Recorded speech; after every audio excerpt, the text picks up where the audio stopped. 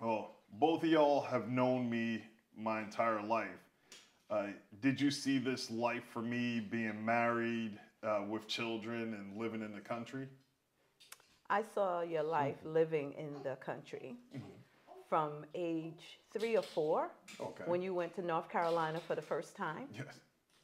and you were amazed at the freedom that you had and how you could run around Right. Um, at our aunt's house, your great aunt.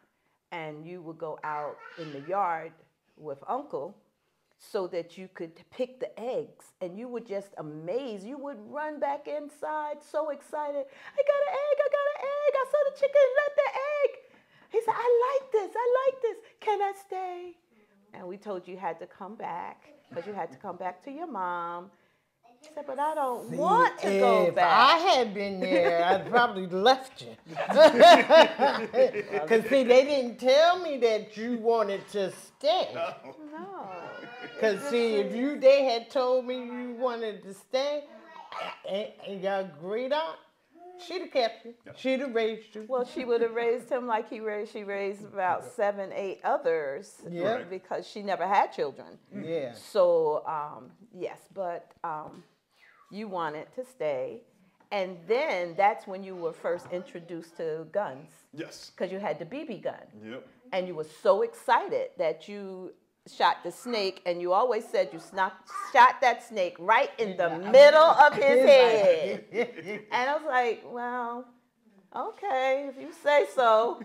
and you were just fascinated with that. Mm-hmm. And from that point on, you always wanted to grow up in an atmosphere of farm animals and on the farm and with your gun. Yep. And it mm-hmm. took what? Almost 40 years for that to happen? Hey. God's plan. Yep, exactly. That, that You had to walk absolute in the truth. wilderness Wilderness. before you could actually get what you needed and wanted because he had to prune you. Yeah.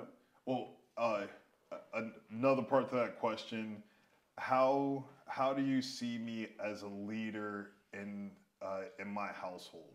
Granted, y'all have only come out to visit a little bit, but you saw me married back in New Jersey, uh, and uh, from w- what we talk about and what you see, how do you see me as a leader in my house? How I'm guiding my family, how I'm guiding my wife, how I'm taking the um, the biblical wor- word, translating it, uh, and living it.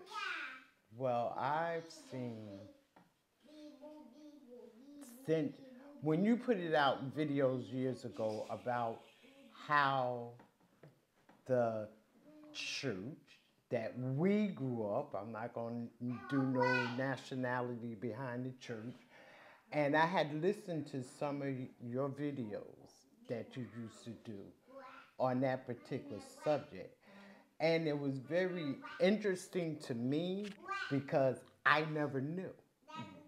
Because you didn't come and tell me, but you put it on the video because I, as a woman, I I really didn't know how to raise a man, but I think I raised you pretty well to be a strong black man, even though you didn't have somebody that could really show you how to be a man.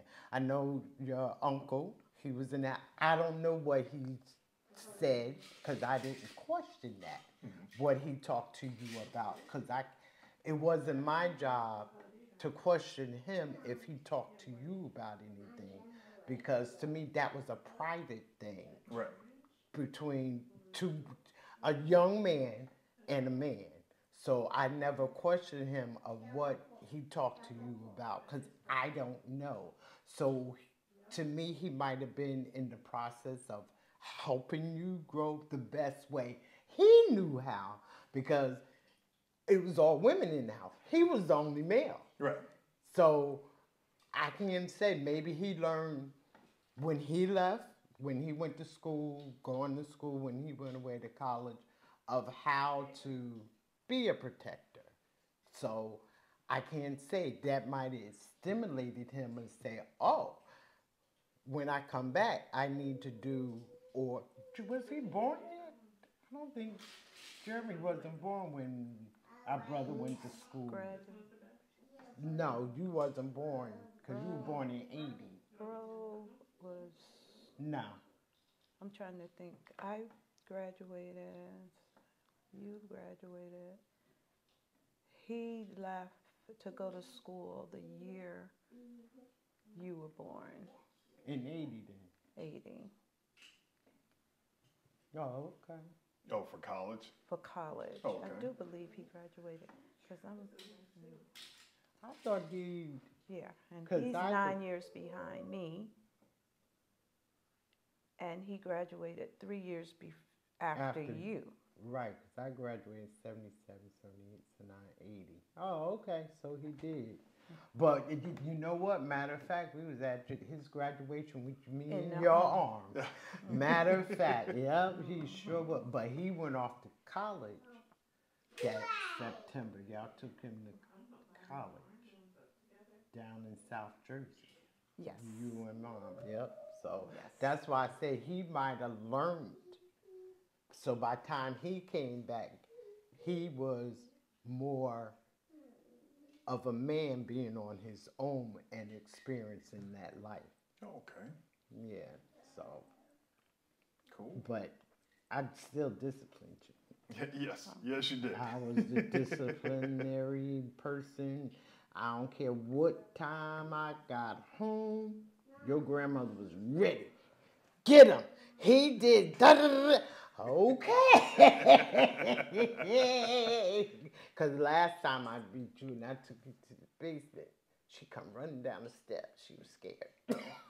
Yep. And For you. it- it- that uh, a lot of that actually shaped uh, shaped my life, career, mindset, and uh, ability to separate any type of anger, aggression, pain, or violence towards me to for me to be able to think clearly and move forward through it. Because I was able to separate pain from uh, from uh, my physical uh, uh, that physicality being in the moment to where it's like okay well i'm not crippled. I can still continue and move forward but uh, over time that started to annoy you because you would give me beatings and then i would just start laughing I know. Yeah. Then I had to stop giving beatings. Because I'm like, this is wasting my time and me out of. Yeah. and uh, that helped me greatly. Uh, I, I don't think it's a uh, a, a dissociative disorder uh, or anything like that. It's just like when I went into my fight career after playing semi-pro football, I I was able to continue to push forward no matter how much pain I was in, no matter how tired or exhausted I was, I was just able to push forward. And then that all of that follows me in my relationships, uh, dealing with problems, uh, putting my uh, my emotions in the moment to the side before I react, and I'm able to think clearly right then and there, and not have to, and, and not react to what's being put on the table, having a bird's eye view, separating myself uh, from whatever is going on, and that helps me in every every bit and part of, of, of my life but I also made a conscious decision that I would be able to get that response out of my children without having to put my hands on them. So I, I did Which that with good. football. It, it was uh, more of a communication based thing because I knew that I was so much bigger that I would hurt him. Right. And the same thing with the chunk. It's I we need to talk and communicate whatever frustrations are going on. Uh, some of the biggest things are you're doing something that you're going to hurt yourself with. We don't want that to happen, so let's correct that now. And then uh, there will be a whine or a cry or something like that. And then once uh, it, with the chunk, once he calms down, we'll walk through all the situations over and over again until he understands why he shouldn't be doing something. Right. And uh, that was, it was a little bit different with football. I would try to have those conversations with him, but with me being a, a absentee parent uh, or every other weekend You parent. It wasn't an absent. I can't. You can't say an absentee parent. An absentee parent is a parent that's not there at all. uh, right? You got him when you were supposed to get him at that time, so you wasn't an absentee parent. An absentee parent is a person that's not there at all, but you were there when you got him. You were there for him Yes. to do whatever needed to be done for him at that time. Right.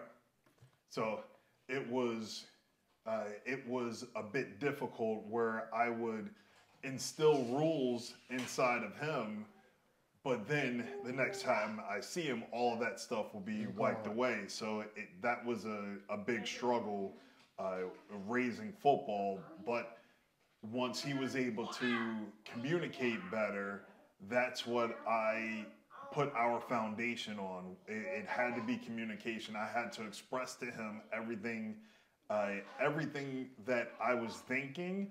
Not anything negative that I was thinking, but everything that I was thinking in a positive light. Also, trying to get him to be able to express his positive emotions, his negative emotions Right. when he's uh, feeling sad, when he's feeling happy. I was trying to get him to be able to verbalize all of that, and it seemingly worked. Yep. Well, speaking about football, uh, what do you think about uh, when you went to go visit him at the Refuge Medical Office? I am so proud of him. I mean, he walks with his head held high, and I'm proud of what I do, what I've accomplished. And the only, I can say that because what my mother told me when I was pregnant with you, she said, hold your head up high and let no man put you under. So could nobody, my girlfriend, nobody can tell me nothing because see, I had gotten approval from my mother who had gotten approval from God. So there was nothing. So I'm proud. He walks with his head very high and proud of what he's doing and what he's accomplished. Now I don't know how anybody else feel about it, but I think he's happy. His his demeanor shows that he's very happy of what he's doing with his with his life, Right. and nobody else can change it. I don't care what you say, it ain't being changed. Mm-mm. And he probably would have been a Southern.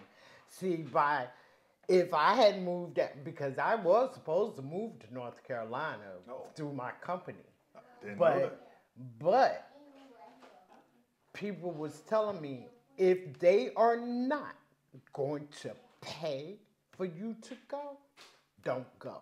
Mm-hmm. And those are people that were there for a while. And they said if they're not going to pay for you to move from here to down there, don't go. Because they, they're going to slap you in your face when you get there. So, and I listened to people who had been there longer than me. I might have been there between three and five years. So you're talking people who had been there already and they seen the ins and and they've seen it and they've told me if they're not going to pay, because we would have been gone by the time you turned eight, Oh wow. because I had that job opportunity. But people said if they're not moving you down there, don't go, don't go. Oh, I'm talking. No, you- fine. Totally fine. but I, but I would have been down there by the time you turned eight. I would have been down there because I had the job opportunity, but they wasn't going to pay for me to move. Oh, okay. Yeah. Yeah. And I Well- would have had to look for a house and everything else. Yeah, on your own. on my own. Right. And that's what they were saying, don't do it Oh, okay. unless they got you somewhere that you can stay. Mm-hmm. An opportunity came up maybe 20 years later again. to move to North Carolina. Oh, wow. Mm, They wanted me on the spot, but I couldn't go nowhere. They was like, "Well, you got the job. Can you start Monday?" no, I have no clue where you're at. I don't know the area. Don't know where I'm going. But they had wanted me the next day. They- I had got the job. Don't even know. I never interviewed for the job, but I had the job. so, yeah. Yeah, things happen like that. Mm-hmm. And your prayer and faith will guide you into some interesting places. Yes. You Mhm. know? Uh, What were your thoughts about seeing football at the refuge office? Um, as your mom said, I'm very proud of him. But I didn't think he would be any different than what I saw. Because in seeing him and listening to him talk, I knew he was going to be great at whatever he did with our conversations and him having a strong head and guidance from you a lot of you pour out of him. So what you instilled in him, it's coming out of him. And he only wants what's going to be best for him. And when he got this opportunity, it was the greatest opportunity he could have. And I was so happy that he was going to move here because there were so many things he could have gotten into Right. like I said before. And not that he was headed in that direction, but you can be headed in a very positive direction, but the negative forces come after you. That is true. Mm-hmm. So he n- needed it to get away, and at the time he did get away. So mm-hmm. I'm very proud of him. And he mm-hmm. just reminds me of you uh, growing up. He has a lot of your characteristics. So it's great because you've been very strong willed all your life from a kid, very strong will. And he is not as strong willed as you are, but he has a strong will to do what it is he wanted to do. Mm-hmm. He did not allow anyone to make him change his decision about coming here. Mm-hmm. Yeah. Yeah, because he was here well, for a week first, and then it was like, oh, I'm going back. Going back where? I'm going back to live, Yes. So, and that that was a good thing, you know, right. moving. And I think as a grandparent and his other grandparent, because we weren't going back to the south, Right. we were more city grandparents than the southern grandparents. See, if I had moved back down south, I would have been that southern grandparent. Mm-hmm. But I never moved back down south. So he had more of the northern, the city grandparents, you know, not that country grandparents. So that was the only thing I think he missed of being. That's why, just like when you went to North Carolina, Right. For your experience. first right, and when he came here, it was like wow, you know, it was a different experience. Yep. But I couldn't give it to you because I didn't have it to give. Understood. Yeah, Now, with your time here with the chunk, how's how's that been? a ball, a ball. With y'all running back and forth. Mhm, He don't know his grandma gonna run. In and out. It don't care. Playing. So I'm having a ball with my my chunk, my pumpkin. I am having a ball. He just don't like you to tell him no. Oh no, not at all. That that, that that's pretty much the end of the You- conversation for him. Yes, yes it is. I've noticed that. He don't. you tell him no. I'm like, and, and boo hoo. I'll be like, you ain't even crying for Yep. nothing. A complete fake cry. Yeah. I said, mm-hmm, because I've noticed them fake cries. Yes, we're talking about you, my chunk. Are you coming with over your here? with your fake cries.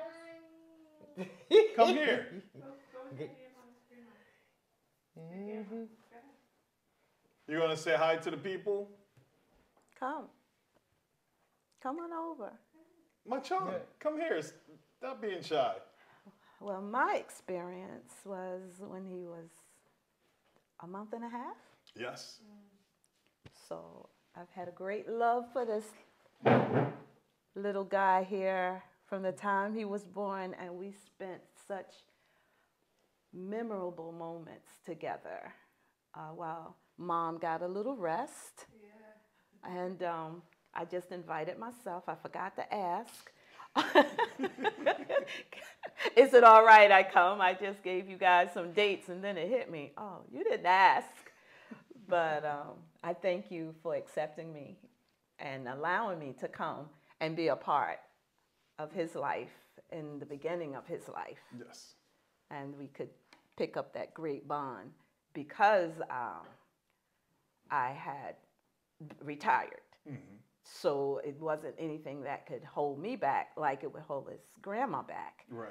um, not being able to get time and to get away for as long. So I was able to step in for us and um, be here to help out. So it's been amazing watching him grow. Yes. And I knew we needed to get here now so that we could see him before he got any older right. Yeah. so that we could build uh, that relationship, which he has built that relationship like he's known us from birth. Yeah. Oh, I gotta do this. What I gotta do? So he's a lot like you. He adapts very quickly. Yes. Uh, and now, Yeah. Well, see. Yes, I do play with trucks. so to let them get back to playing while we're still here, gonna call this a video. Thank y'all for watching. Thank if y'all, you for watching. y'all have any questions or anything, Thank you. Uh, throw them in the comments and shalom. Shalom. You want to say shalom, my junk? Shalom.